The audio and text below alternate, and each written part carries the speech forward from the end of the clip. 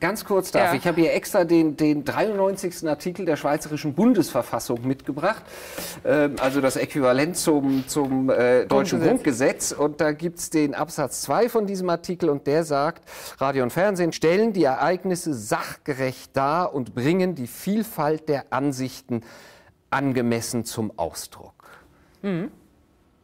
Aber ganz ehrlich, also das weiß ich jetzt nicht, ob das auch in dem Schweizer Vertrag drin steht, aber wenn ich jetzt uns als öffentlich-rechtlichen oder überhaupt die deutsche Presse- und Medienlandschaft, warum gibt es uns? Warum sind wir gegründet worden? Wieso haben wir nach dem Krieg, hat sozusagen Sir Hugh Green war es damals, ähm, dem deutschen öffentlichen Rundfunk einen Auftrag gegeben, nämlich diese Demokratie mitzubewahren. Das ist ein Auftrag an die Presse. Deswegen wurden Verlagslizenzen gegeben. Deswegen wurden Verlagslizenzen nur an Nicht-Nazis gegeben, damit wir ein Land haben oder eine, Presse haben, die, äh, oder eine Medienlandschaft, die dafür da ist, den Bürger zu einem mündigen Demokratie wählenden Bürger zu erziehen oder in die Lage zu versetzen, an Wahlen teilzunehmen. Aber ist das ist der Job. Ein, das erinnert mich so ein Aber bisschen das ist meine diese, Lieblingsfrage an Journalisten. Diese, diese, diese Re-Education, ne, die zum Beispiel mit deutschen Kriegsgefangenen in Großbritannien, ja äh, ganz offen, das wurde auch nicht verheimlicht, das war kein Geheimprojekt. Da wurde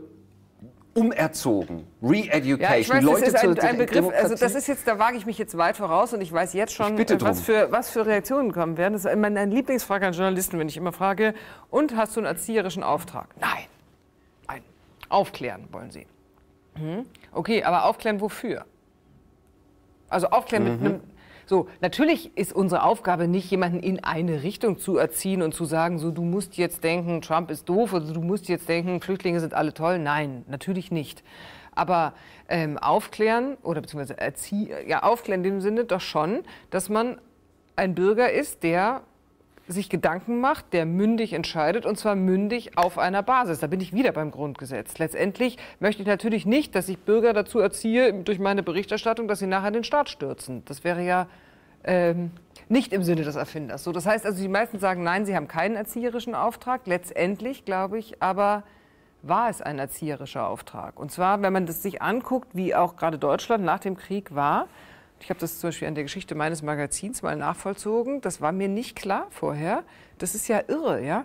Wie, du musstest ja aus, aus diesen Menschen, die obrigkeitshörig waren, die Angst hatten, die, die ein Propagandasystem gewohnt waren, du musstest sie dahin bringen, das ist nicht nur Aufgabe der Presse gewesen, sondern der Gesamtgesellschaft, dass sie selber sagen, hey, nee, der Politiker da oben, nur weil der mächtig ist, hat jetzt hier nicht das Sagen und ich kann das kritisch hinterfragen.